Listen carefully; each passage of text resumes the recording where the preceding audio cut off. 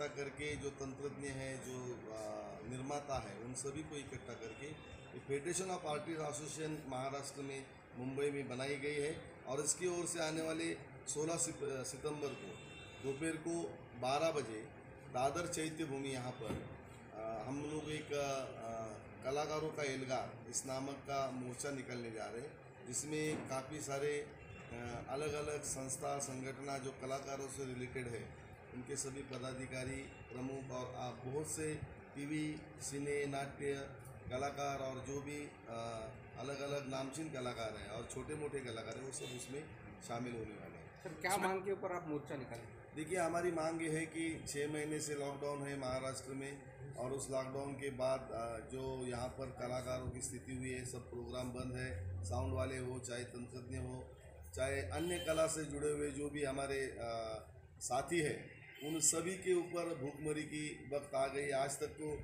सभी संस्थाओं ने, सभी संगठनों ने, व्यक्तिगत स्वरूप सभी जो बड़े कलाकार हैं, छोटे कलाकार हैं, उन्होंने एक दूसरे को मदद की। लेकिन आने वाले छः आने वाले अभी ये समय में अगर इसी तरह से अनलॉक या फिर से लॉकडाउन होता है, या छः सात महीना, आठ महीना या एक साल भी आगे प्रोग्राम होगा कि नहीं, हमें पता नहीं है।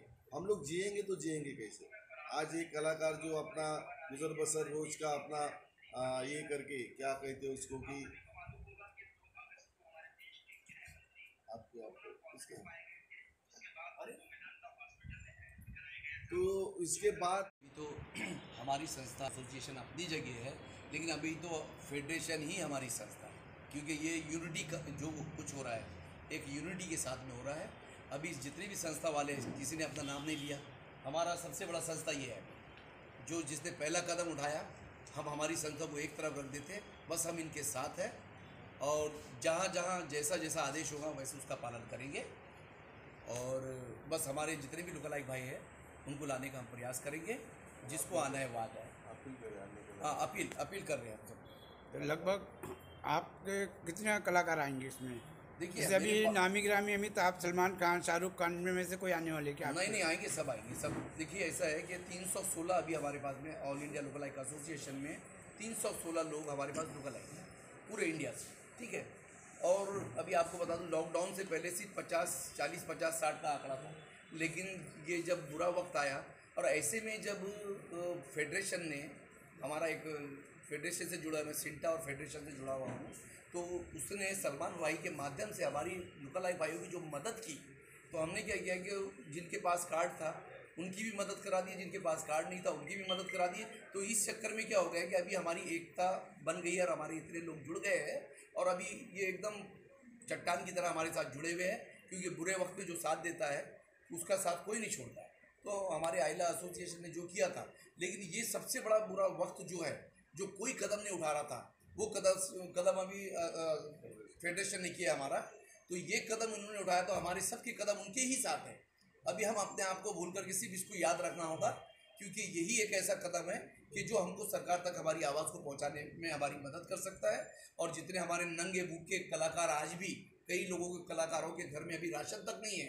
कई बीमार है, अभी हमारा मिथुन चक्रवर्ती मिथुन चक्रवर्ती वहाँ जयपुर में पड़ा उसको दो, अट्ठारह सौ रुपये की दवा अभी उपलब्ध नहीं है उसके पास। और तीन कलाकार अभी हमारे जूनियर बढ़ चुके हैं अभी। एक रजनीकांत शाहरुख खान और जैकी श्रॉफ तीन कलाकार अभी इस ऐसे ही पीरियड में हैं हमारे मर जाने की वजह से उनकी विधवाओं को हम जो आपस में ही आपस में पैसा इकट्ठा करके जो मदद कर रहे हैं इतने बुरे वक्त में भी तो इससे हमारी एकता लोगों को दिख रही है। तो ऐसी एकता हमारी बने रहे और फेडरेशन ऑफ़ आर्टिस्ट एसोसिएशन हमारे साथ अ, है और हम भी इनके साथ हैं। और मैं नहीं पूरे महाराष्ट्र में ये सबसे पहला इतिहास कदम है, ऐतिहासिक कदम है ये कि ये फेडरेशन ने जो कदम बढ़ाया है, आज तक सब लोग सोच रहे थे कौन बढ़ाएगा कौन बढ़ाएगा कौन बढ़ाएगा, और ऐसे में कोई नहीं बढ़ा रहा था। लेकिन मनोज भाई संसारिया पूरे यू- इनकी यूनिटी इन, इनकी एसोसिएशन ने जो काम किया है सबको जोड़ लिया है, सबको अपने छत के नीचे ले लिया है। अभी हम एक ही एक ही छत के नीचे सब आगे बढ़ेंगे, और 16 तारीख को हमारा जितना भी, जितने भी कलाकार हैं उन सब का प्रदर्शन आपको अपनी आँखों से दिखेगा। उसमें आपने पूछा, सलमान खान आएगा, शाहरुख खान, सभी आएँगे। इससे इससे ज़्यादा लोग आएँगे। और आप वहाँ देखेंगे इसके हमारे कलाकारों की दुनिया सब, और सब गेटअप में आएँगे। मैं तो गेटअप में बुला रहा हूँ सब, कि सब गेटअप में आओ ताकि लगे कि हमारी देखो, एकता देखो और हमारे कलाकारों। ये अभी हमारे प्रवीण भाई खड़े हैं। ये जब गेटअप में आ जाएँगे तो आप पहचान नहीं पाएँगे। इंटरनेशनल लेवल पर चार्ली का जो एक्ट करते हैं, ये बहुत बड़ी, ये प्रभु देवा हमारे। ये जो है राकेश राकेश भाई जो खड़े हैं ये प्रभु देवा है। ये जब स्टेज पर आते तो प्रभु देवा खुद इनको सैल्यूट करता है। तो कहने का मतलब क्या है कि जैसा अभी हम लोग, मैं अनिल कपूर का करता हूँ। अभी मैं एज ए आरिफ खान बात कर रहा हूँ। लेकिन जब मैं अनिल कपूर बनकर आता हूँ तो आप खुद देखेंगे कि यार ये वाकई में अनिल कपूर है। अनिल कपूर साहब भी उस वक्त अप्रिशिएट करते हैं, तारीफ़ करते हैं, गले से लगाते हैं। तो हमारे सब लुका लाइक भाई बहुत बड़े आर्टिस्ट है। हमारे सिंगर खड़े हैं, देखो भाई।